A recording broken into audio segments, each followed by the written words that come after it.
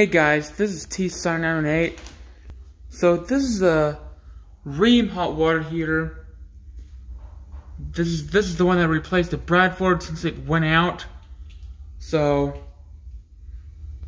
that's the drainage, whatever that is. I think this is probably the drainage pipe. Yeah. Yeah.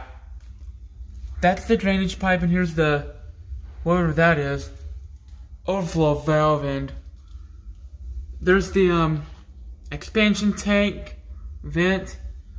There's another vent pipe. There's a gas pipe and gas control valve.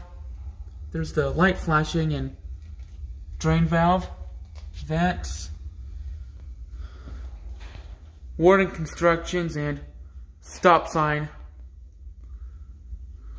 So that's about it. Thank you for watching.